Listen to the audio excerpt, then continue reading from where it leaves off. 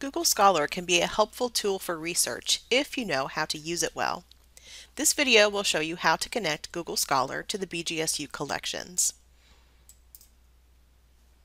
Google Scholar is a commercial search engine specifically designed for academic and scholarly sources like journal articles, conference papers, and theses and dissertations.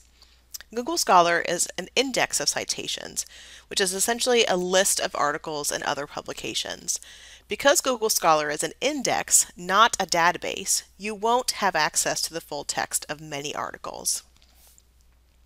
However, you can connect Google Scholar to the BGSU library collections.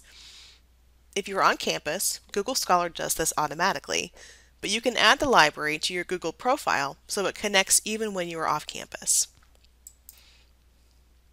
If you have a Google account or a Gmail address, be sure to sign into your account before starting. To connect to the BGSU library, go to the hamburger menu in the top left corner. Click on Settings, then Library Links. In the search box, type in Bowling Green State University.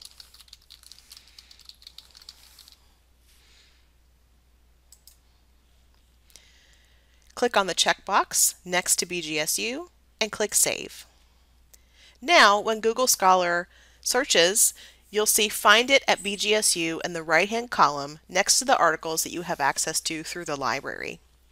Let's do a search uh, to see what this looks like.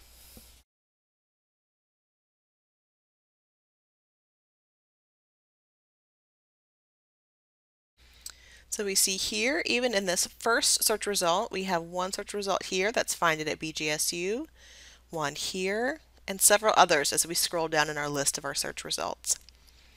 So if we click on this find it at BGSU link, it should direct us to our library login. So log in using your BGSU credentials, and then the link takes us directly to that article within the library database. For more information about what Google Scholar is and how to use it effectively, watch the Using Google Scholar to Your Advantage video linked in the video description. If you have more questions about Google Scholar, ask a librarian.